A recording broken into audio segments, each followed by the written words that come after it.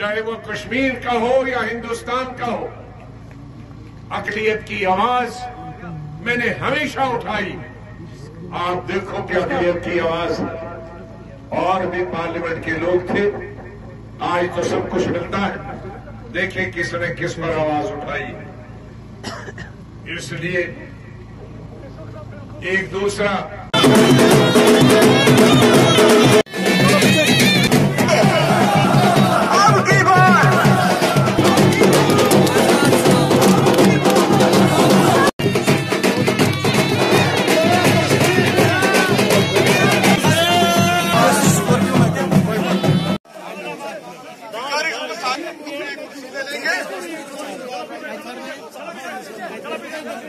अहमदाबाद भट्ट खयाल के बारे में थोड़ा बोलना चाहता हूँ। अहमदाबाद भट्ट कालगाम थाना के बाहर एक वर्कर है जो पहले हम सबको मिलके नेशनल कॉन्फ्रेंस और इन तमाम पार्टियों को ये जवाब दे रहा है कि आप, आपकी यहाँ ज़रूरत नहीं है।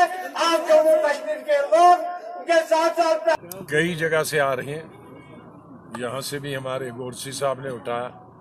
कई जगह है अब उसमें आखिर में हम चोच करेंगे न कोई ना कोई जगह। तो कैंडिडेट्स क्या इंशाल्लाह अभी क्या हमारी जिस कांग्रेस पार्टी में मैं रहा है उस वक्त फार्म भरने तक सुबह अब वो आते आहिस्ता आहिस्ता जा रही है।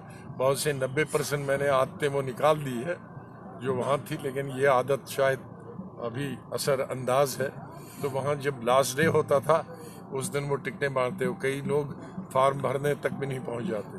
तो अभी उसके लिए नोटिफिकेशन नोटिफिकेशन मुल्क में रोज जाते हैं। तो ये करोड़ों की तादाद में जाते हैं। लेकिन कश्मीर का जो हमारा जो पिलगम टूरिज़्म है इसको एक्सपोजर नहीं किया जाता। इसको इंशाल्लाह हम नेशनल लेवल पे अगर इंटरनेशनल नहीं भी हुआ नेशनल में भी बीस करोड़ आबादी मुसलमानों की है वही अगर पचास लाख यहाँ आए तो हमारा नक्शा बदल जाएगा।